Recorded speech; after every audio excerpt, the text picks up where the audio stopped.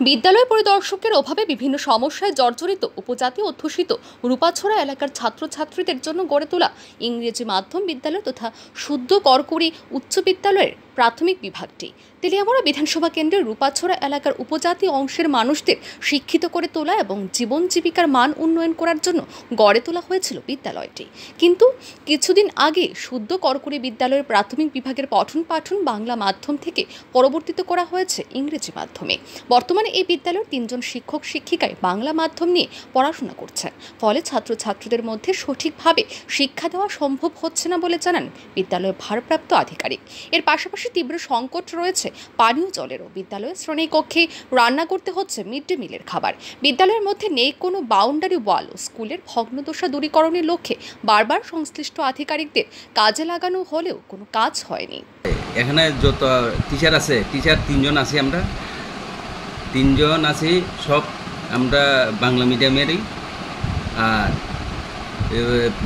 English মিডিয়ামের teacher বলতে এখানে নাই।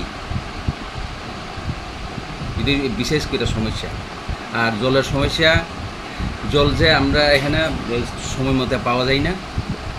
আর এখান থেকে অনেক দূরে গিয়া লেফটিনে যাইতে হইলে কিন্তু ওই এখান থেকে মাঠ পাই রইয়া পোলাপান ছোটো ছোটো পোলাপানরা এখান থেকে নিতে পারে না।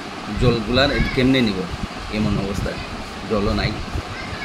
বাউন্ডারি বাউন্ডারি ওয়াল তো নাই ওই। পোলাপানে কোনো সময় ওই সরার দিকে পড়তে পারে। খেলতে খেলতে গিয়া পড়তে পারে।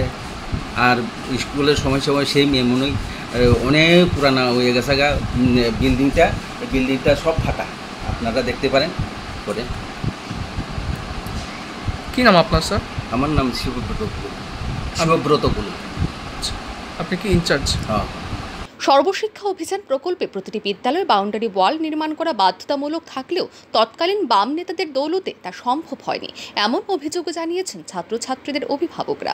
বর্তমানে ভারতীয় জনতা পার্টি সরকারের আমলে বিদ্যালয়ের ভগ্নদশা কাটিয়ে তোলার জন্য সংশ্লিষ্ট দপ্তর কী ধরনের পদক্ষেপ গ্রহণ করেন সেটাই এখন দেখার বিষয়।